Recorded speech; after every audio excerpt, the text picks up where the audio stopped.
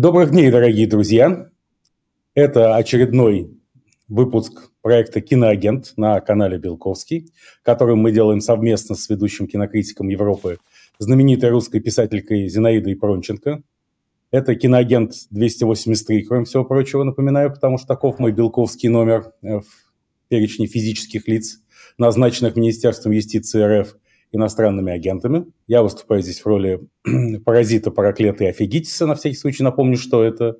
Паразит – это мастер застольной беседы по-гречески, параклет – утешитель, а офигитис – рассказчик офигительных историй, на которых во многом построен наш Зинаида Пронченко проект «Киноагент».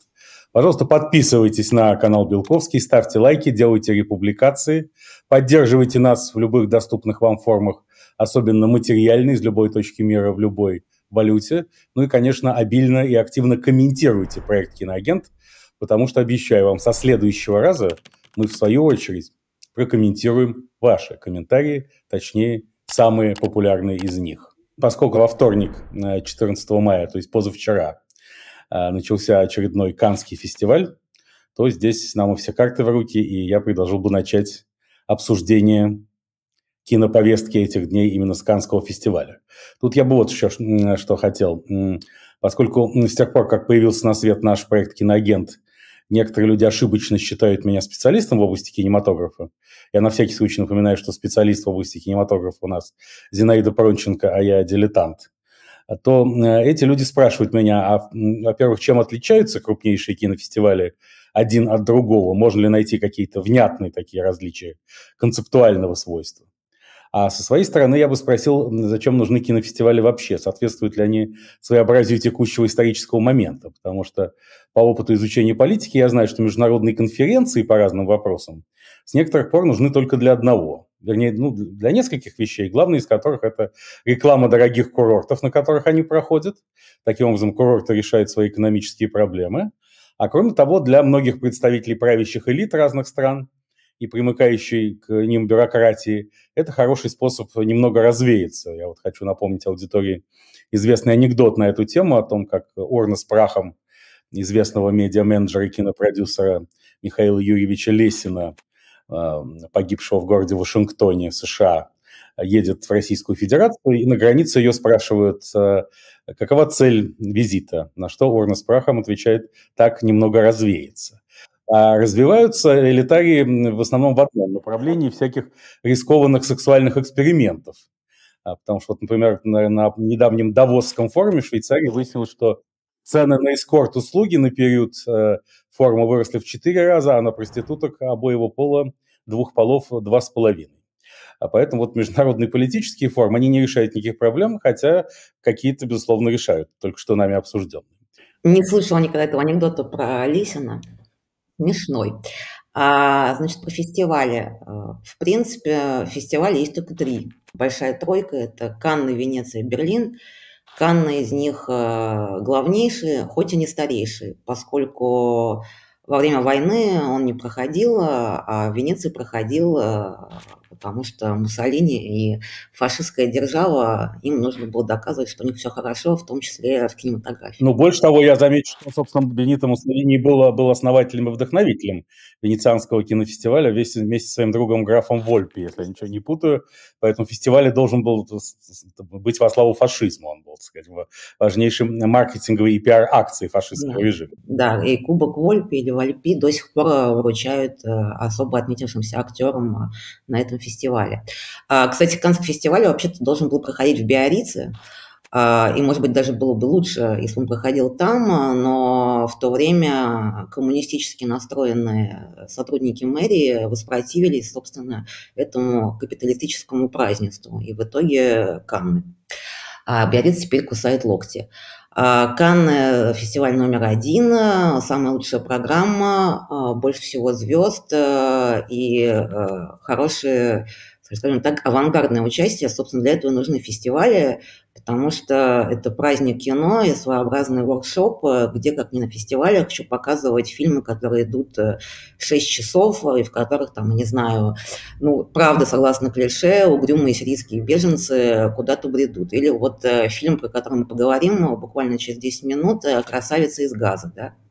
То есть все самое острое и спекулятивное предназначено для фестиваля, потому что потом, когда попадает в зрительские залы в прокат, обычно долго оно там не живет. А, Венеция второй по значимости, и в нем наиболее сильно американское присутствие. Они вообще как бы ориентированы на Голливуд, на Оскар, они ближе по графику к Оскарам. Соответственно, Венеция становится промо-площадкой в Оскаровской гонке. Ну и, наконец, Берлин, учрежденный для того, чтобы реабилитировать германскую нацию после всех ее преступлений, как-то вообще поднять настроение а, европейцам. Он самый социально ориентированный, поэтому с точки зрения кино, наверное, самый слабый.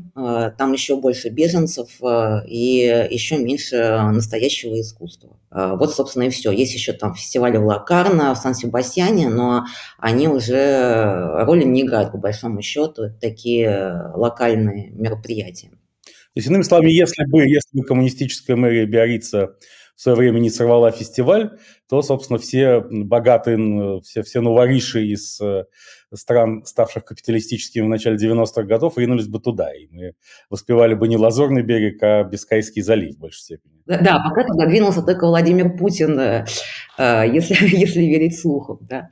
Ну, туда, да, даже двинулся не только Владимир Владимирович Путин, но его супруга Людмила Александровна со своим новым мужем Артуром Сергеевичем Очеретным. Вот, кстати, недавно была катастрофическая сталинградского масштаба битва э, в Донецкой области Украины за населенный пункт Очеретину, и не все понимали, почему это так важно для Кремля. Но именно потому, что Очеретина – это фамилия Э, бывшей пока единственной жены Владимира Владимировича Путина, и поэтому это имело сакральный смысл. Но тем самым, если бы фестиваль был в Биорице, то Путин с очередными находились бы в Каннах. И Каннам был, был, был бы от этого еще хуже. Поэтому тут, тут все сходит. Но, с другой стороны, Биориц ведь очень близко от Сан-Себастьяна, да? Поэтому там какая-то была бы очень большая да. кучность, кучность кинофестиваля. Я разрываюсь тут э, между сюжетами и шутками, потому что, раз мы вспомнили Путина, то единственный, по сути, конкурсный э, участник э, из России Кирилл Семенович Серебренников, э, который представлен своим новым фильмом «Лимонов», являющимся экранизацией одноименного романа французского писателя Мануэля Каррера, получивший уже лет 10 назад премию Ренадо, вторую по значимости после Ганкура. А, так вот, э, основная интрига заключается в том, что э, роман начинается в Биорице, куда прилетает Борис Абрамович Березовский уговаривать Владимира Владимировича Путина вступить на царство. Эту же версию событий мы слышали в фильме Марии Певчих. И э, Карреру это нужна была мизансцена, чтобы выстроить антитезу. А в это время Лимонов. Потому что главная, главная мысль Каррера – это сравнение двух, значит, этих важнейших персонажей для политической культурной повестки Российской Федерации. Не знаю, оставит ли Кирилл Семенович эту сцену в фильме, думаю, что нет. А, полагаю, что он не, захочет дополнительно еще а, играть с огнем. Теперь, что касается секс-работницы, которых вы упомянули, и которых действительно, я думаю, уже очень много приехало в Канны, потому что это у них просто урожайная страда. А фестиваль вообще открывается в очень тревожной атмосфере. Только вчера все аккредитованные участники получили рассылку с горячей линии и номером, куда звонить, если вы подверглись сексуальному насилию в процессе значит, этого киношного праздника. Но самое главное это то, а, что... А по другому телефону, по альтернативному телефону, видимо, отзвонить, если вы ему не подверглись, но хотели бы. А, самая главная проблема заключается в том, что если верить газете «Фигаро», то во время фестиваля должны будут объявить 10 э, фамилий, носители которых э, видные участники французской киноиндустрии, совершившие не так давно э, какое-то сексуальное насилие в адрес людей, которые находятся в более слабой позиции. Дело в том, что МИТУ, начавшийся в 2017 году с Харви Вайнштейна в Америке, только сейчас э, достигла пиковой точки во Франции. То есть буквально кинематографисты засыпают, боясь проснуться отмененными. Очень как бы нервная ситуация. Мы видели уже выступление французской актрисы Жюдит Гадреш э, на Сезаре, которая накануне вручения премии поделилась с общественностью своими воспоминаниями о том, как она снималась у классиков французского кино а, Жака Дуайона и Бенуа Жако, когда она была несовершеннолетней, и как э, оба пытались э, тоже совершить в ее адрес какое-то насилие, причем Жак Дуайон а, в присутствии своей тогдашней, уже ныне покойной жены Джейн Биркина, которая находилась э, в соседней комнате.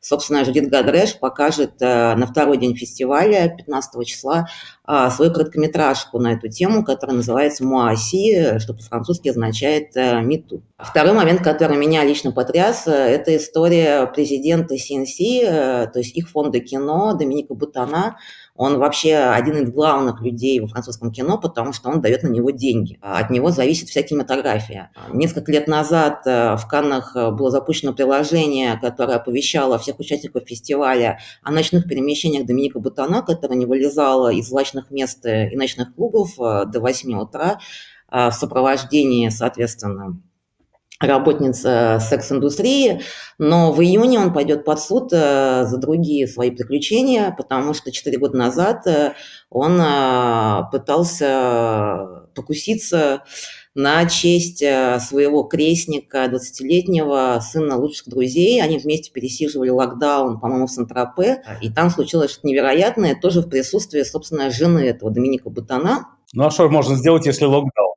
Если карантин.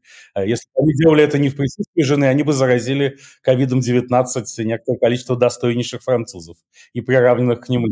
Да, но меня потрясло да, значит, следующий момент, что, объясняясь в полиции, зачем он, в общем, а, пытался потревожить своего крестника, а, Доминик Бутана сказал, что это произошло из-за боязни старения. Нет, на самом деле, как э, психоаналитик-самоучка, изучавший в том числе долгие годы в тайном союзе с профессионалами этого жанра, а также психиатрами, истоки педофилии вообще, я вполне готов согласиться с господином Буттона, э, что это страх даже не только старения, сколько импотенции. Импотенция вообще явление психологическое, а не физиологическое. Если у тебя нет комплекса импотенции, то ты можешь там, у тебя все в порядке до 120 лет может быть вполне как минимум, в первую очередь психологическое. Естественно, могут быть какие-то жесткие травмы, которые ведут к нарушениям в сексуальной сфере, но это должны быть действительно большие потрясения для организма. И человек пытается зайти на запретную территорию, поскольку сам фактор риска проникновения на эту территорию, фактор страха становится и фактором преодоления импотенции, точнее, ужаса перед ней. Поэтому здесь будто она, как ни странно, сказал чистейшую правду. Правда, он мог бы, вот если бы я был адвокатом Буттана в современном суде, я бы сказал, что во всем виноваты мировые элиты, которые устроили этот локдаун и обрекли человечество на полную изоляцию, в том числе изоляцию от поисков совершенно законных форм и методов любви. Интересно еще другое, э, что, собственно, это было 4 года назад, и Макрон э, не уволил э, Бутана своего поста, объясняя это тем через Министерство культуры, что какой бы он ни был, э, но он все-таки наш либерал, а, а если мы его уволим, то фонд кино, соответственно, кинематограф захватят какие-то люди из ультраправого лагеря, и начнется сплошной Мединский во Франции. А что это президент Франции назначает и увольняет руководство Канского кинофестиваля? Нет, но это не руководство Каннского фестиваля, это руководство CNC, фонд кино. То есть это их э, организм, который выдает деньги на все фильмы, которые снимаются во Франции. Это очень важный человек. Он на самом деле совсем не из культуры пришел на этот пост, э, а из страхования. Он сделал карьеру в компании АКСА или АКСА, я не знаю, как правильно произносить. Причем он тоже там э, человек из номенклатуры, у него сестра очень известная журналистка, брат всю жизнь продюсирует Милен Фармер, и он давал деньги на избирательную кампанию Макрона в том числе. А, ну здесь, возможно, совпадение, как говорит известный российский телепропагандист, совпадение, не думаю.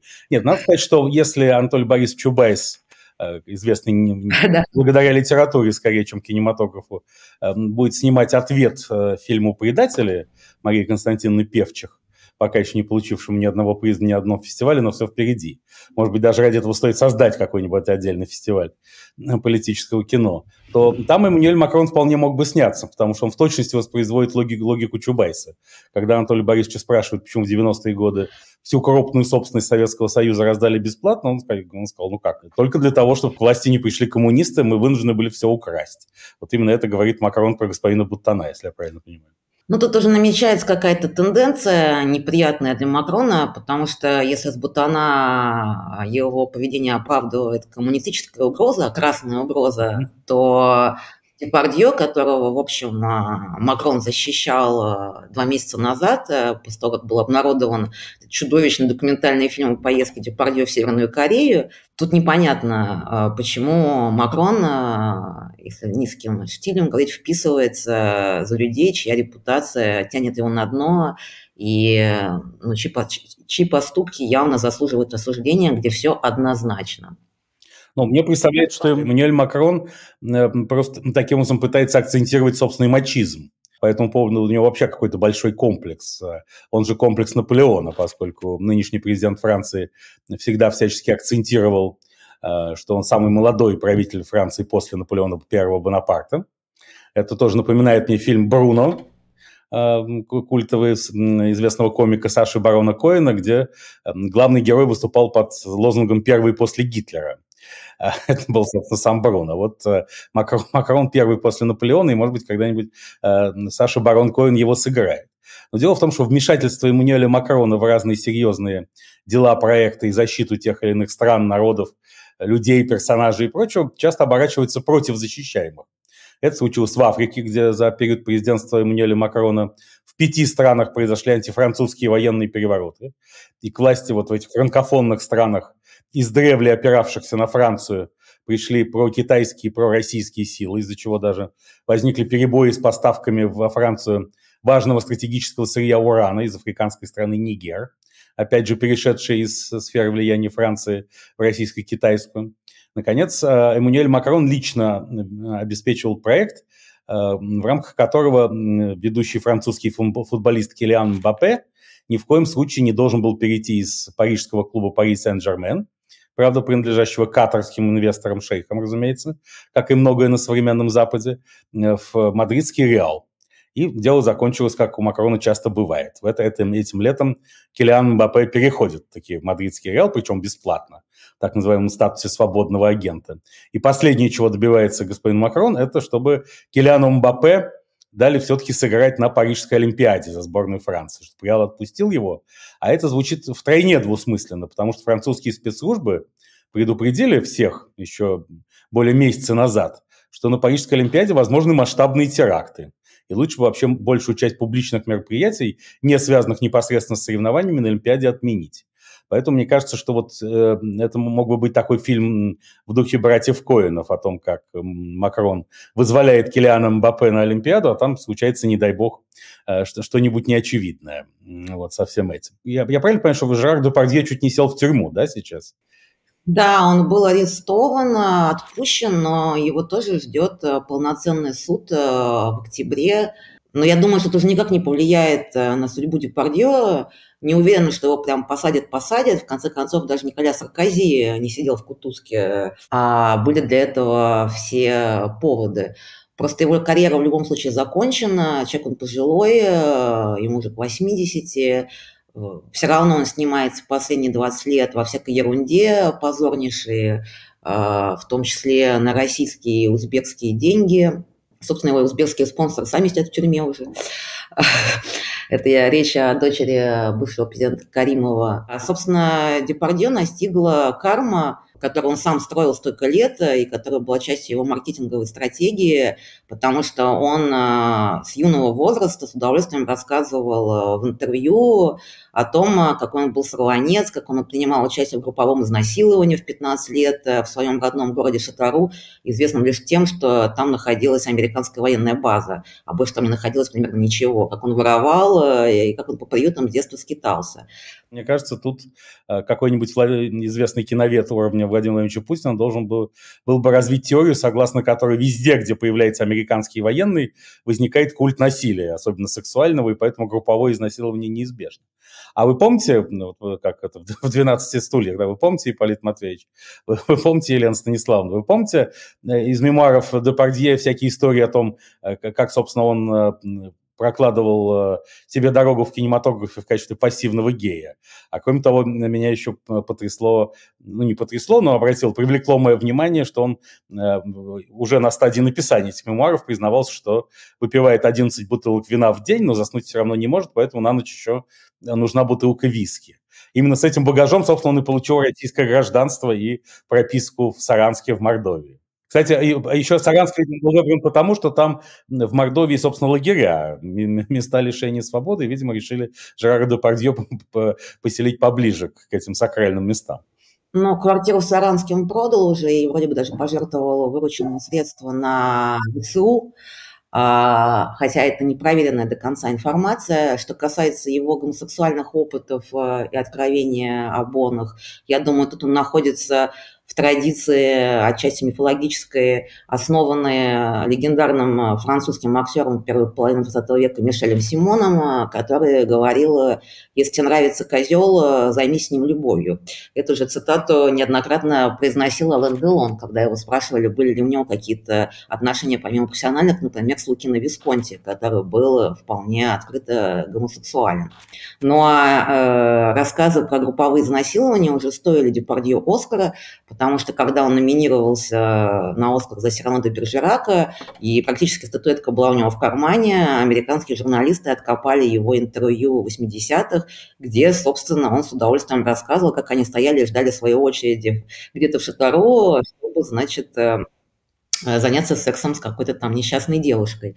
И в итоге он остался без главной кинематографической награды. Так что в общем, все взаимосвязано и наказуемо. Хотя и тогда э, в истории с Оскаром его защищало активно французское правительство в лице Джака Ланга, министра культуры, по-моему, назначенного Митераном, который сам был открытый гомосексуал и смотрел на нравы и сексуальные обычаи, в общем, у него было довольно фривольное представление. И последнее про Макрона. Коль скоро, по вашему мнению, у него комплекс Наполеона, то, наверное, не случайно в день открытия Канского фестиваля Помимо фильма «Открытие», который называется «Второй акт» и снят э, Кантаном Дюпье, будут показывать отреставрированную э, копию э, знаменитой картины 27 года Наполеона Беллиганса, которая является э, классикой французского немого кинематографа.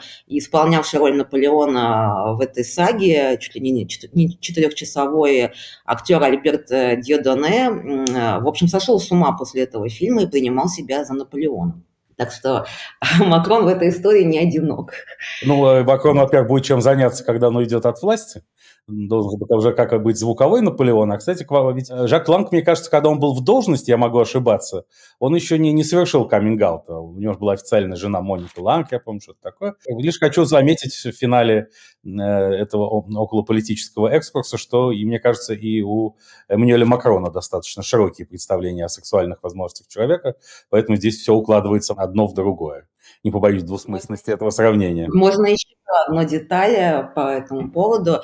Да, Джек Ланг, может быть, э, и не манифестировал свою гомосексуальность, э, находясь при исполнении, но вот его коллега Фредерик Митеран, который в родственных связях находился с Митераном и тоже занимал пост министра культуры, по-моему, при Саркози, он умудрился написать мемуары на посту, в которых были пассажи о том, как он развлекался в Таиланде с мальчиками, включая несовершеннолетних, и был страшный скандал. Просто Фредерику Митерану не пришло в голову, что, наверное, это не очень, особенно для министра культуры.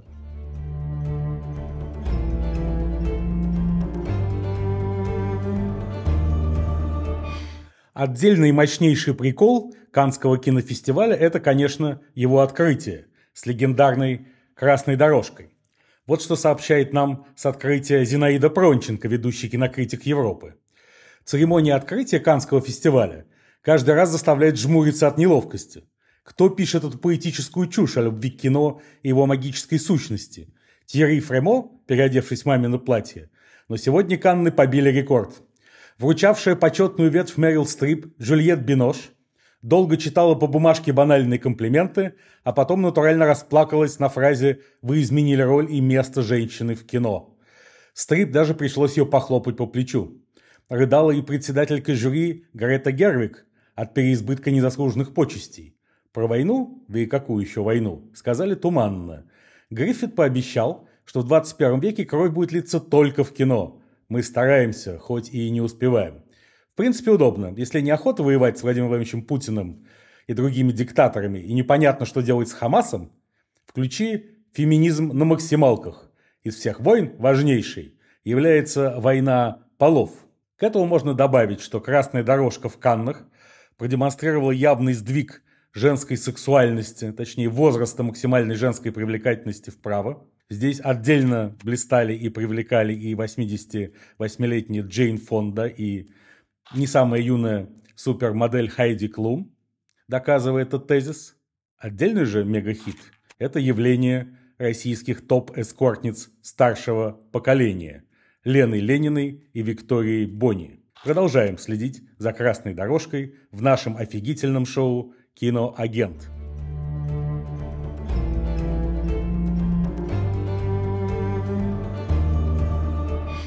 Я бы хотела перечислить несколько самых ожидаемых премьер э, Канского фестиваля. Значит, упомянутый уже Лимонов. Это, я так понимаю, самый дорогой фильм э, в карьере Кирилла Серебренникова. Называют цифры что-то вроде 10,5 миллионов долларов.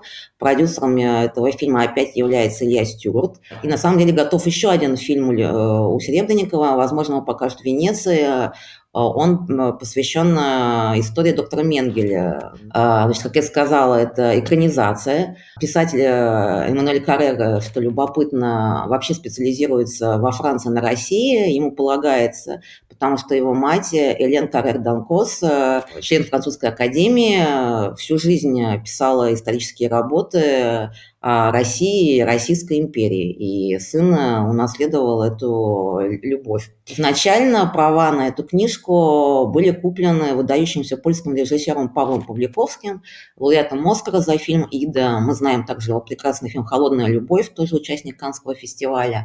Но что-то там пошло не так, то ли они не нашли финансирование, и в итоге сценарий оказался э, в руках Серебренникова. Лимонова играет британский актер Бен Уишел, который сам по себе, безусловно, актер талантливый, но меня лично, в принципе, смущает э, это экспортное стремление Серебренникова уже обосноваться э, полностью в западном мире, а значит, фильм э, Лимонова будет идти на английском языке. Я с трудом себе представляю, потому что у меня есть знакомые, которые читали сценарий еще на этапе кастинга, а, как Эдуард Вениаминович будет общаться на английском со своими родителями, родителями, находящимися в Харькове и служащими там чуть ли не в НКВД.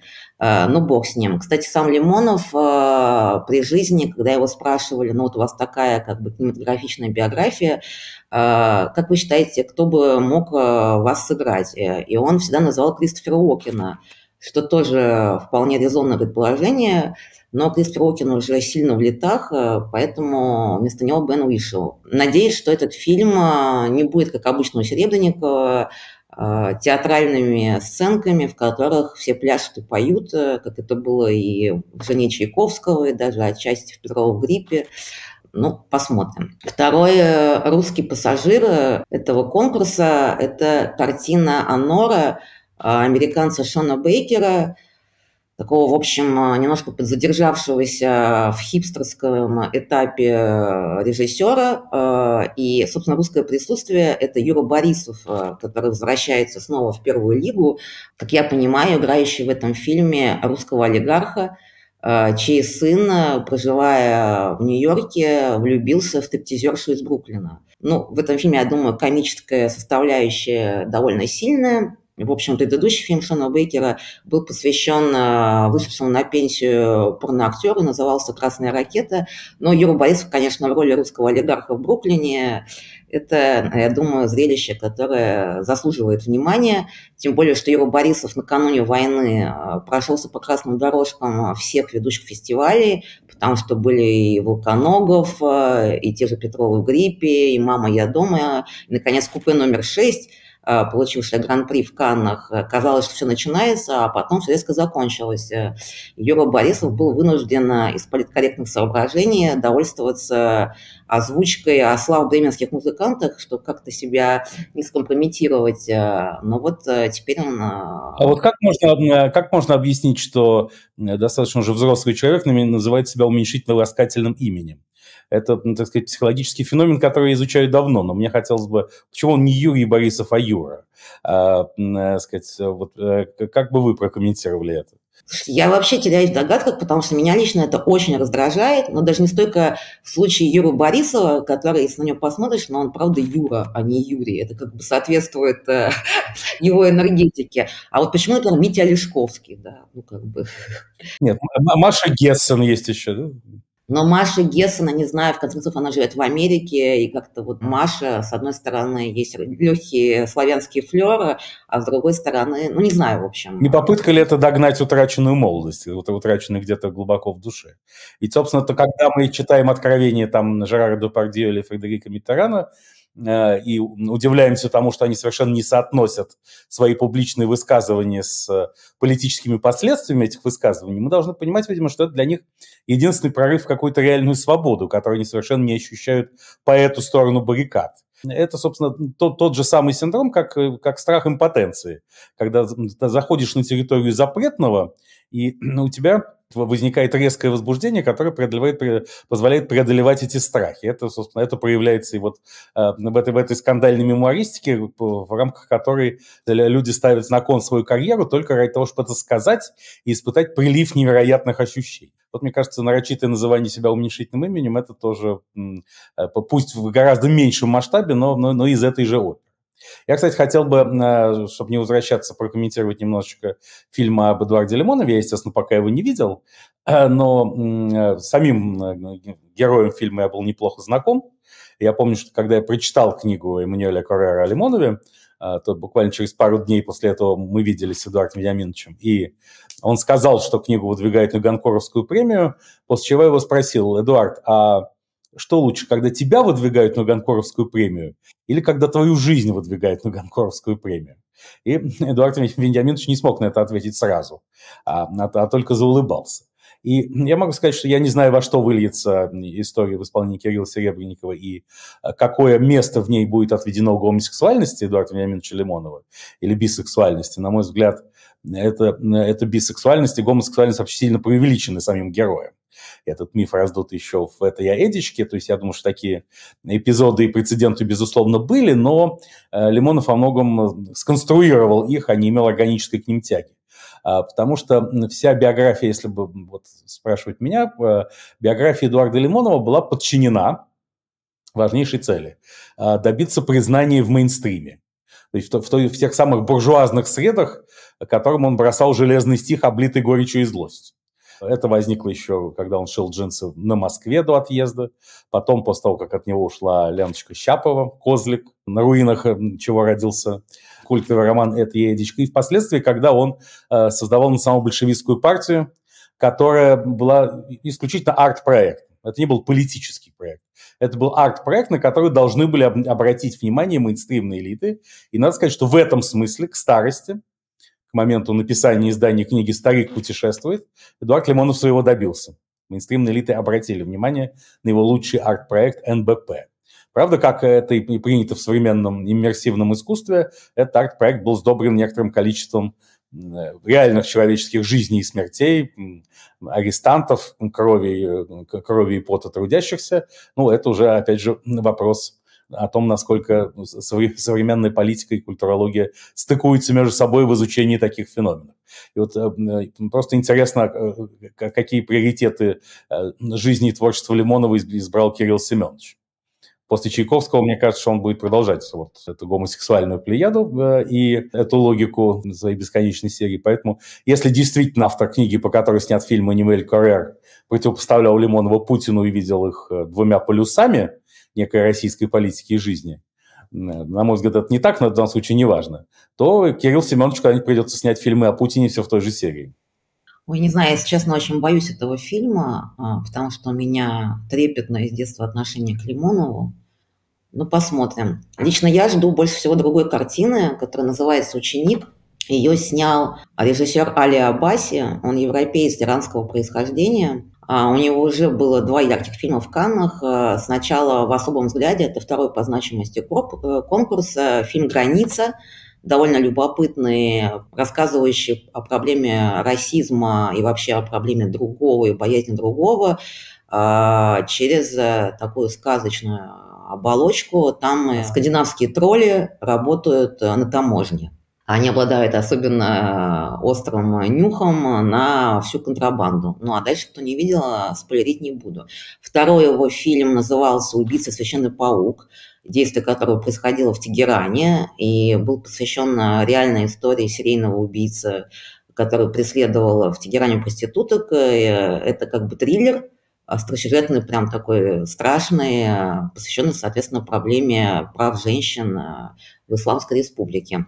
Второе, наверное, по значимости участник, он первый по значимости, но просто он очень сильно пожилой, да, а, и второй по, э, по интриге для синефилов – это Фрэнсис Форд Коппола а, со своим фильмом «Долгостроем Мегалополис», э, на который он потратил опять, э, так у него вводится куча своих денег. Это такая притча, как я полагаю, смесь древнеримских нравов и имперских американских декораций современных, э, пропитанная духом ненавистным мне писательницы Айн Рэнд, которая терпеть не могу и всегда полагала, что ее любят только позднесоветские мужчины, э, расхищавшие в 90-х э, государственную собственность Российской Федерации. А нет, оказывается, она интересует и Фрэнсиса Форда Копполу а именно аспект бунта личности против общества, а, чтобы достичь всех своих самых а, амбициозных целей.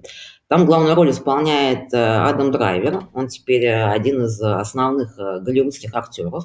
Он играет героя, которого зовут, не поверите ли, Цезарь Кателина. То есть Цезарь Кателина в одном, по сюжету он архитектор, который хочет поменять не только ландшафт города, но и общественное устройство. А противостоит ему мэр города, которого зовут Цицерон. А, еще в этом еще образуется треугольник за счет дочери мэра, которая влюблена в Катерину, хоть и дочь Цицерона. А, как мы помним, Цицерон произносил в первом веке до нашей эры несколько речей в адрес Катерины, доколе же ты будешь угрожать нашему республиканскому порядку и так далее и тому подобное. Мне кажется, что это будет какая-то, извините, страшная кичуха, но уже сейчас, потому что э, онлайн-бронирование на сеансы в Каннах открыто третий день, и билетов на этот фильм не достать. Ну, насколько я понимаю, этот «Мегалополис» навеян Гаем Солюстием Криспом, это, собственно, книга античная о борьбе Кателины и Цицерона в Риме, и, в принципе, есть попытка проанализировать современную американскую историю через призму Э, трагической судьбы Древнего Рима. Это сам себе подход не нов, он, он понятен. Э, в нем, так сказать, все и сознательные и бессознательные метания сегодняшних элит. И, конечно, то, что дочь тирана должна быть влюблена в революционера, ну, это настолько фирменный сказочный сюжет, что трудно э, признать его хоть сколько-нибудь радикальным. Но, тем не менее, из уважения к Фрэнсису Форду Копполе всегда посмотрим и оценим уже по факту. А, будет новый фильм Йоргаса Лантимуса, который недавно мы смотрели «Вы бедные несчастные», чья премьера произошла в Венеции, и Эмма Стоун, соответственно, отхватила «Оскар» за роль э, тряпичной куклы, эмансипировавшись от своего создателя. Тут опять Эмма Стоун. Э, фильм называется «Оттенки доброты», «Kindness of Kindness» какая-то трехчастная история. Там же еще играет Уильям Дефо про людей, которые не могут найти место в современном мире. О, сюрприз. И, значит, старательно его ищут э, за счет каких-то невероятных откровений и катарсисов. Ничего больше не известно, но, судя по трейлеру, опять какая-то хулиганская, полуабсурдистская, полукомическая история на тему их нравы. И еще из классиков э, кинематографа западного будет новый фильм Пола Шрейдера, почтенного уже старца, автора сценария к таксисту и так далее и тому подобное, который снял фильм э, «О Канада». Это экранизация романа популярного писателя Рассела Бенса о старости э, военного репортера. Его играет Ричард Гир, кстати, мы его очень давно не видели. А с Ричардом Гиром Пол Шрейдер не встречался на съемочной площадке почти полвека, потому что Пол Шрейдер – автор знаменитой картины «Американский жиголо» 80-го года, которая сделала из Ричарда Гира секс-символ. Помните, костюмы Армани и так далее и тому подобное.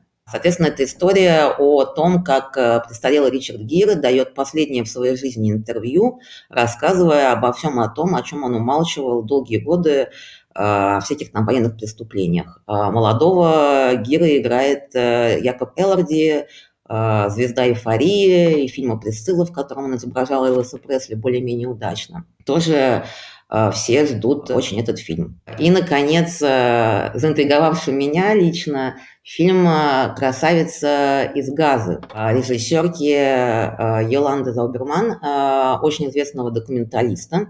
Это картина о палестинских транссексуалах, э, которые бегут из сектора газа в Тель-Авив, э, чтобы жить э, полноценно своей новой жизнью в новом теле или в новом обличье. В трейлере звучит совершенно спекулятивная история о том, как какая-то женщина утверждает, что якобы по легенде один из главных раввинов Израиля Э, говорил, что каждый раввин мечтает тоже быть женщиной. You know, I read a book in a Jewish history uh, about a rabbi from the 13th century that he wrote that he was longing to be a woman. Предыдущий фильм этой режиссерки был посвящен проблеме педофилии в ортодоксальных еврейских кругах. А, то есть, э, как и полагается современному художнику, эта дама пытается с каждой новой работы снова залезть на самое острие ножа. Но меня поразило другое, что, оказывается, она в 93 году получила гран-при на Московском кинофестивале за картину, называвшуюся «Я Иван, а ты Абрам» о дружбе евреев и белорусов 30-е, в которой э, снялись, э, снялась целая плеяда уже почти умерших советских актеров. Э, Янковский, Герт, Джигарханян. Надеюсь, Джигарханян хотя бы не играл еврея. Ролан Быков и, кстати, Владимир Машков, который, героя которого звали Аарон. Он там изображал молодого коммуниста, преследуемого властями. Это удивительная совершенно информация, такой, соответственно, диапазон у авторки, потому что где Владимир Машков сегодня, а где палестинские транссексуалы. Ну, примерно, примерно там же. То есть, э, собственно, Владимир Машков, видимо, и выжил благодаря этому превращению. Вообще надо изучить, как быстро э, советские актеры умерли после премьеры этого фильма «Я Иван, ты Абрам». И это само все сюжет для мистического триллера. Выжил только Владимир Машков. И когда он выжил, он понял, что единственный выход для него – это стать Z-активистом и сказать, повесить и сопредседателем предвыборного штаба Владимира Путина. То есть он э, только Мефистофель спас его от неминуемой смерти после участия в этой картине. То есть Владимир Владимирович Путин. При этом вы знаете, что в, Табакерке, то есть в театре имени Табакова, Олег Павловича Табакова, который возглавляет ныне Владимир Иванович Машков, вы знаете, на этом фоне всегда вот звучат рассуждения, что ворочается ли в гробу Олег Павлович Табаков или ворочается ли в гробу там, Марк Анатольевич Захаров от нынешнего поведения его любимого актера Дмитрия Певцова. Самое печальное и радостное одновременно, с моей точки зрения, что мы совершенно не знаем, как они, эти великие художники, повели бы себя в нынешней ситуации. Я совершенно не исключаю, что они были бы твердо на стороне спецоперации Z и, и непобедимого вождя народа. Ну почему мы, мы, не, мы не знаем? Э, по некоторым великим художникам, мне кажется, есть определенность. Э, но разве могут быть сомнения в том, поддержал ли Эдуард Лимонов или нет э, специальную военную операцию? Нет, никаких, потому что он добился главного, он добился призна... внимания мейнстрима, он привлек к себе внимание, и на, на, на этой оптимистической ноте, как и положено в соответствии с Белковской теорией жизненного задания, он реализовал свое жизненное задание и должен был уйти от нас в лучший мир. Надо сказать, что в ответ на классический классический вопрос Владимира Владимировича Познера, нашего с вами кумира, в интервью, э, что бы вы сказали на встрече с Богом, но это э, Познер приписывает этот вопрос Марселю Прусту. Э, Лимонов ответил лучше остальных. Ну, я, естественно, видел далеко-далеко не все интервью Познера, но все, что я видел с другими людьми, было очень, скажем, банально и неискренне одновременно – а Лимонов э, как раз сказал очень четко. Он бы просил у Господа, на черта все это было нужно. Человечество цель, я считаю, это разгадать свою собственную загадку. Зачем мы? До сих пор никто не, толком не сказал, это зачем мы. Вот если встретить создателя, попытаться его как бы любыми методами заставить его ответить, что у нас за загадка, а потом убить и съесть его. Вот что надо сделать. Причем, замечу, интервью с Лимоновым показали только после смерти Эдуарда Вениаминовича. При его жизни это было э, еще не, не разрешено, но в России так часто бывает, да и не в России, впрочем, тоже. Не будем уж, так сказать, э, все, все сводить к, к нашей бедной, несчастной, оставленной нами и оставившей нас родине. Но вот эта логика, что мы идем от транссексуалов к педофилам, любой раввин желает быть женщиной, это логика тоже, так сказать, борьбы э, канского продюсера с, со страхом импотенции или Фредерика Митерана с острым ощущением несвободы, э, ради преодоления которого он готов поставить на, на кон и на карту свою карьеру. Это логика азартной игры с некими запретными темами, которая существенно влияет на, на твой гормональный фон и заполняет твое содержание смыслом. А что касается раввинов, то да, они э, совершенно отнюдь не без греха, поскольку как во всякой замкнутой, закрытой корпорации где человеку присваивается авторитет независимо от его личных качеств, э, такое бывает. Собственно, ну и мы знаем, что и в христианских церквях э, черти водились всю жизнь достаточно активно, и в католической церкви целебат привел к огромному количеству сексуальных проявлений самого перпендикулярного свойства, э, начиная от банальных, самых простых связей священников с женщинами до педофильских скандалов, которые еще потрясают, продолжают потрясать католическую церковь и Ватикан, и репутационно, которые влияет на э, судьбу Ватикана до сих пор весьма негативно. Формально из-за этого во многом ушел э, на покой бывший э, папа римский Бенедикт XVI Карл Йозеф Ратцингер, хотя, на мой взгляд, де-факто не из-за этого, а из-за того, что он понял, что его суперконсервативная линия просто не может быть эффективна в условиях современного мира, что церкви нужно новое аджорнаменто, новое приспособление к реалиям, как при папе Иоанне 23, и поэтому он должен дать дорогу молодым. Я думаю, что еще стоит отметить э, другую документальную ленту, которую тоже очень ждут. Это «Вторжение» Сергея Лазницы о двух с половиной уже почти годах э, полномасштабного вторжения России в Украину. У Лазницы в Каннах в особом взгляде несколько лет назад показывали замечательный фильм «Донбасс» игровой о том, э, что творится на территориях э, Донецкой и Луганской. Пацаны! У меня тут немец попался. Фашиста поймали! Ну, ну, ну, ну, ну, ну, ну. Я журналист, журналист. Окей? Не, не фашист.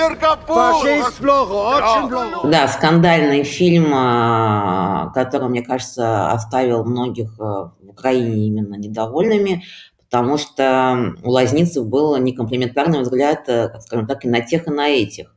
А, и вообще, когда война началась, э, Лазницу уже, кажется, исключили из Украинского союза кинематографистов, а, потому что не то чтобы он говорил, что все неоднозначно, для него, конечно же, все однозначно, тут сомнений быть не может, но он просто а, не пытался присягать в каком-то патриотическом угаре ВСУ и далее по списку. А в любом случае, он давно уже не проживает в Украине, и я думаю, это будет э, мощная заявка. Так что так. Ну, в, эпоху войны, разумеется, все алчат пропаганды. А, да, собственно, в украинской политике э, этот запрос на пропаганду всегда был гипертрофирован, особенно в последние 10 лет, с тех пор, как де-факто началась Четвертая мировая война весной 2014 года, которую Владимир Путин, конечно, затеял не с Украиной и не против Украины, а против Соединенных Штатов Америки. И Украина была лишь одним из театров этих боевых действий, где, опять же, Путин должен был привлечь внимание мирового истеблишмента. Здесь Эммануэль Каррер абсолютно прав, ставя Путина и Лимонова на одну доску. Лимонов создает МБП, чтобы привлечь внимание российского мейнстрима. Путин устраивает войну в Украине, чтобы привлечь внимание мейнстрима глобального и показать, что он не фрик и не маргинал, а, а великий тиран, который достоин диалога на равных. Это одно из главных неявных и невысказанных, не сформулированных в явном виде содержаний э, Четвертой мировой войны. Но, конечно, художнику во время войны очень сложно избежать того, чтобы стать заложником пропаганды. И, конечно, большие художники должны готовиться к тому, что они будут востребованы лишь тогда, когда военная пыль э, уляжется, а грязь застынет. Пока война идет, пока она в активной фазе, соловьем иногда придется помолчать.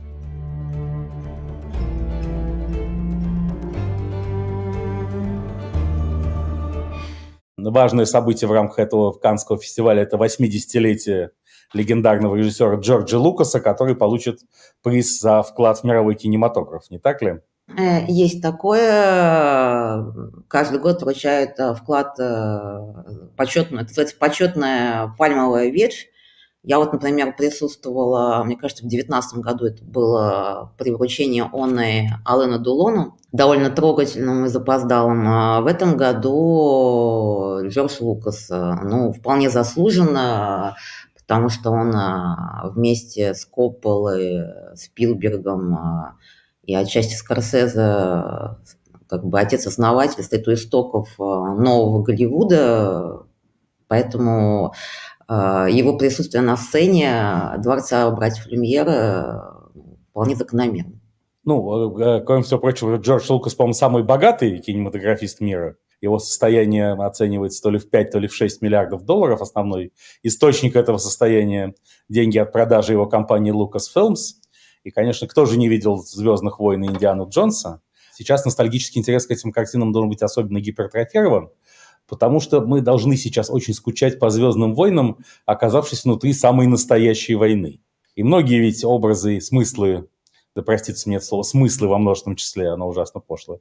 «Звездных войн» мы обнаруживаем сегодня в Четвертой мировой войне. Но эта война происходит с нами, на нашем веку, не в далеком будущем и не в глубоком прошлом. И на планете Земля, а не в других галактиках цивилизации. И это чуть менее приятная война, чем те старые добрые звездные войны, которые говорят нам о нашем детстве в самом широком смысле. Не обязательно в детстве по возрасту, а о тех благословенных временах, когда мы буквально младенчествовали, думая, что настоящей большой войны никогда не будет. И там по известному американо-японскому философу Фрэнсису Фукуяме наступит некий либеральный рай. Но кто же думал, да, даже в лихие 90-е годы, а уж тем более в спокойные нулевые, что вот настанет тотальное господство духовных скреп, и РФ-танки будут идти на Киев. Или что Хамас нападет на Израиль, а Израиль к этому будет совершенно не готов. И э, искусство же всегда убежище от реальности. И в этом смысле «Звездные войны» Лукаса в сегодняшнем, в сегодняшнем мире это убежище высшей категории. Бункер, который мечтал бы построить вокруг собственной головы каждый из нас. Поэтому уже в этом смысле э, награда Джорджу Лукасу абсолютно, абсолютно законна и закономерна. Все в истории всегда бывает в правильный момент. Карл Густав Юнг, мой заочный учитель, говорил о, о принципе синхронии. Любимый его пример – это как один его пациент или анализант, как сейчас надо говорить, э, заказал себе синий костюм в ателье, и в один прекрасный день этот костюм доставили, но он по ошибке оказался не синим, а черным. И в этот же самый день анализант узнал о смерти своего близкого друга. Черный костюм был нужен ему для похорон, о чем, конечно, совершенно не знал ателье, который перепутало синий и черный цвета. И поэтому вручение «Звездным воинам» и Лукасу особого приза именно сейчас, во время Четвертой мировой войны, это, в общем, тот самый синий костюм, который прибывает вместо черного, чтобы мы немножечко ослабили наш внутренний траур. А я со своей стороны, я не предлагаю это обсуждать, но, конечно, жду очень картины моего любимого Паула Соррентино «Партенопа». Партенопа – это, собственно, по, по одной из версий Сирена, которая умерла от того, что не смогла соблазнить Одиссея. а в нашу эпоху возвращения Одиссей становится максимально актуальным героем. Я думаю, еще не одну Одиссею мы увидим. Помните же, была Одиссея э, Андрона Кончаловского, нашего тоже с вами фаворита. Э, по другой версии, Партенопа – это нимфа, в которую влюбился кентавр Везувий.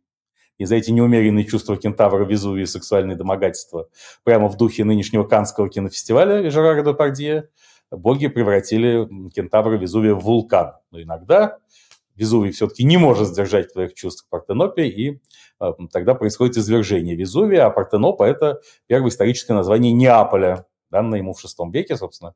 Пауло Соррентино продолжает изучение своего любимого родного города в, разных проекциях. Была даже Партенопейская республика, это было а, при, при Наполеоне, когда на некоторое время свергли неаполитанских бурбонов. В общем, как, как всегда, у Соррентино это должно быть что-то незаурядное. Посмотрим. Да, кстати, к вопросу об Андрее Кончаловском, коль скоро вы его вспомнили. А с ним тут тоже был на днях э, скандальчик, потому что актриса Эмили Блант э, высказалась на какой-то из актерских церемоний. Правда, запамятовала сложное русское имя Кончаловский, но сказала, что когда она кастинговалась к нему на картину «Лев зимой», подверглась страшным унижениям э, мизогинным. Просто Эмили Блант, видимо, не знает, что все кастинги на женскую роль у Андрея Кончаловского носят чисто формальный характер, поскольку все равно на них утверждается Юлия Высоцкая, его законная супруга. Ну, а, а кстати, первый э, из крупных актеров, э, кто путал, никак не мог запомнить фамилию Кончаловского, был Марлон Брандо. Это, собственно, написано самим э, Андреем Сергеевичем Кончаловским в его книге воспоминаний. Вот я не помню, в какой, там «Низкий истина» или «Возвышающий обман», я читал обе не буду за это извиняться. Э, там, собственно, Андрей Кончаловский занимался тем, что поставлял э, Марлону Брадо контрабандную черную икру. Именно в таком качестве поставщика черной икры воспринимался Марлоном Брандо, и Марлон Брандо называл его Андрей Костелянец, а обиженный Андрей Сергеевич Кончаловский в ответ называл его Марлон Брандауэр. Но этого юмора, видимо, не слишком осведомленный в кинематографе, кроме своего собственного Марлон Брандо, э, до конца не оценил.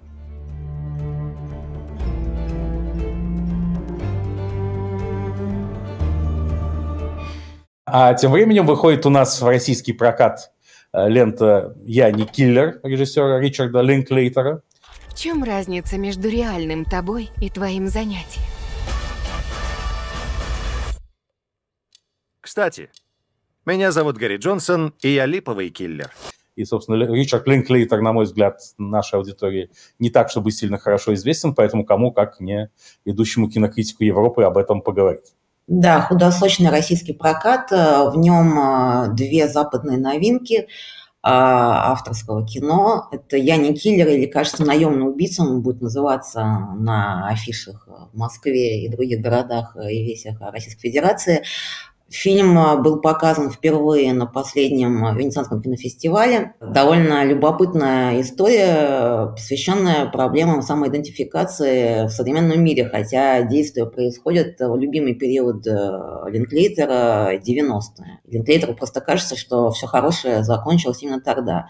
И не смешно, что он прав. Главный герой – профессор психологии Нью-Орлеанского университета – а, который рассказывает э, студентам про Фрейда и Юнга. Дома имеет двух котов, которых зовут э, Ид и Эго, что, естественно, не случайно. Свободное от основной работы время он еще халтурит э, а, на операциях под прикрытием местной полиции в качестве технического ассистента. И в какой-то момент э, главный сотрудник не выходит э, на работу, и э, он, а, а этот герой выходит на замену. А нужно вот что, нужно изобразить наемного убийцу, встретиться с потенциальным заказчиком, разговорить его о значит, деталях сделки, кого нужно убить, как скоро и за сколько денег, а как только заказчик все это произносит, тут ему наручники на запястье, и в тюрьму. А, и профессор становится очень успешен на этом поприще, его даже называют в участке Лоуренсом Оливье, пока он, как всегда, не встречает роковую женщину, которая жертва домашнего насилия и хочет заказать э, своего абьюзивного супруга. А он в нее влюбляется, и дальше, соответственно, классическая дилемма, долг или чувство, жизнь или хобби, ид или эго. В общем, это такая, я бы сказала, драмеди, то есть смесь драмы и комедии с романтическим привкусом и серьезными экзистенциальными смыслами. На самом деле это реально случившаяся история как раз в 90-е, о которой вышел по-моему, Washington Post, но я могу перепутать, огромный лонгрид, и автор, журналист этого текста, соавтор сценария Э, с Линклейтером. Что касается Линклейтера, то у него не первая уже фильмография картина основана на реальных событиях и миксующая абсурд э, с тяготами жизни, и все это под философским соусом, потому что у него уже был фильм «Берни», э, много лет назад о провинциальном владельце похоронного бюро, Э, который очень любил весь город, такой он был э, милый и обаятельный, а на самом деле он убил свою жену и целый год скрывал преступление. Когда это выяснилось, весь город стал его защищать в прессе и в суде. Но вообще-то Линклейтера синефилы любят не за это, а за знаменитую серию картин «Перед закатом», «Перед рассветом» и так далее и тому подобное с Итаном Хоуком и Жюли Дель Пи о разных этапах взаимоотношений влюбленной пары. Сначала она встречается в поезде, который идет в Париж, потом через 10 лет они уже супруги, ну и э, далее по э, жизненной шкале.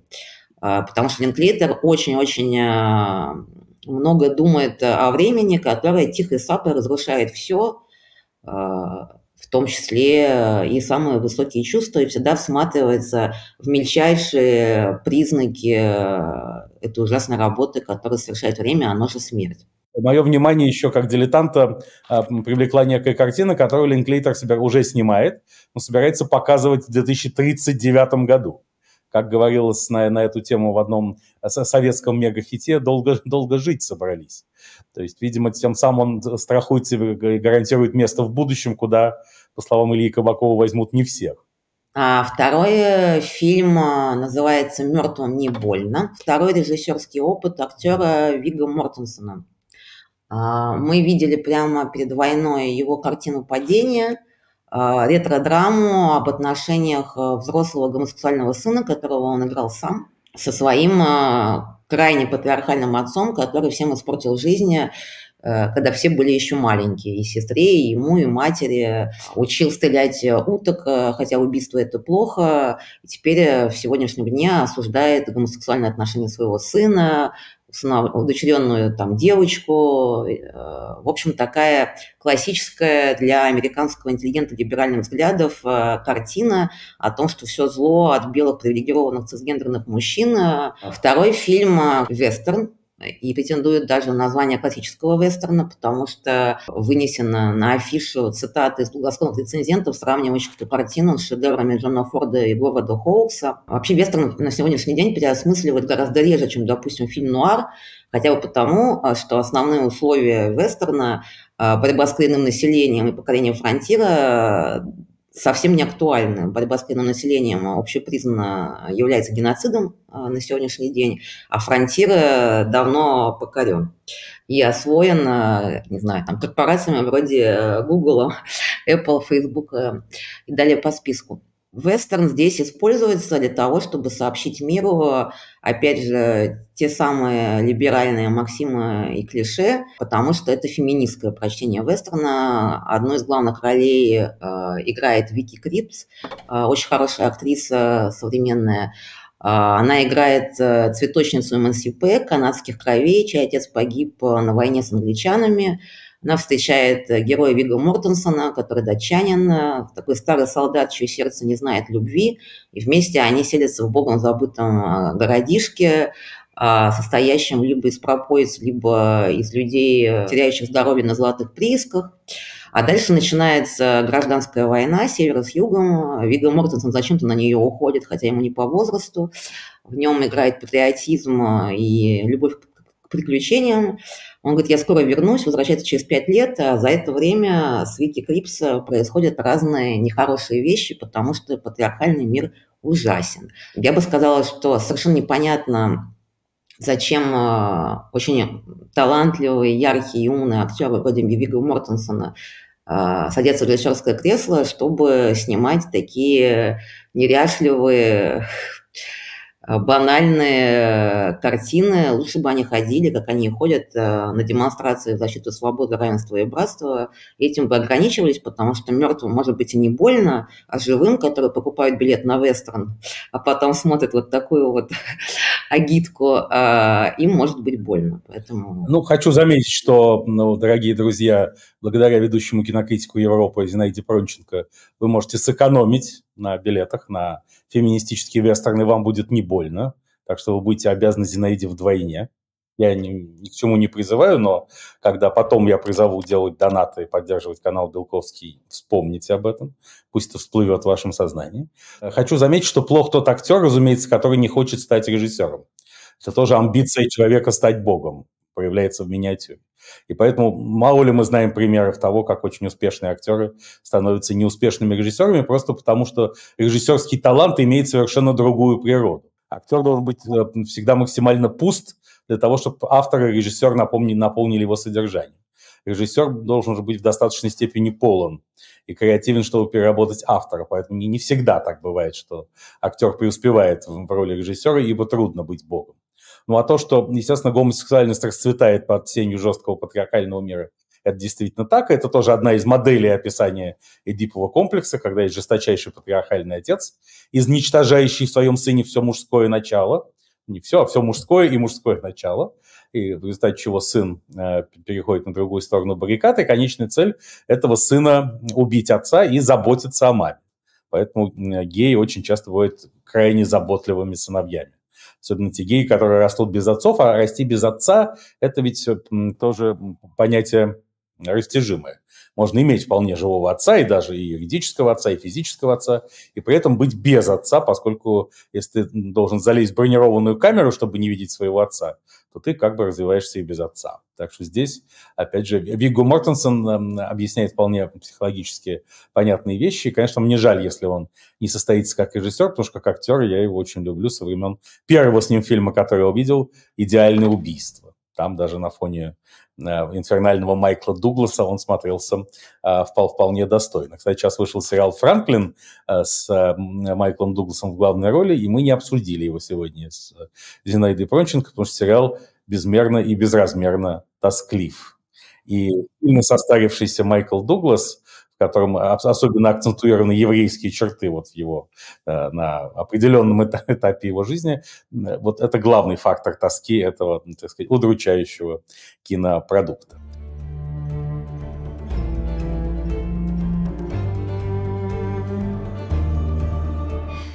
Ну, а под занавес на финишу мы должны поговорить о качественно новом слове в глобальном кинематографе, о фильме, который снят целиком и полностью искусственным интеллектом с помощью про- программы Sora э, корпорации OpenAI, то есть самой, которая э, сделала чат GPT.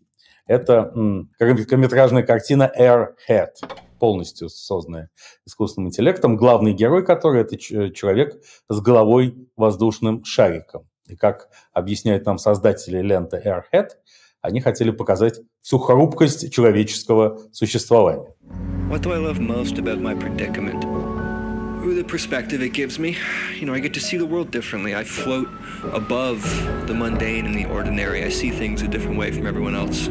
Мне кажется, что они показали в первую очередь свою целевую аудиторию потому что именно люди, у которых э, голова напоминает э, воздушный шарик, э, наполненный гелием или горячим воздухом, и которые нуждаются, соответственно, в услугах э, искусственного интеллекта, про таких людей э, и это забавный короткий метр. В общем-то, выглядящий как любой короткий метр, э, снятый студентами МГИКа примерно на третьем курсе. Что-то хрупкое, что-то смешное и что-то максимально банальное. Ну, разумеется, просто потому что искусственный интеллект сейчас не достиг еще должного уровня развития, а как глобальный тренд это очень важно, поскольку для чего вообще дан нам искусственный интеллект? Во-первых, э, чтобы избавить человека от бремени обязательного труда.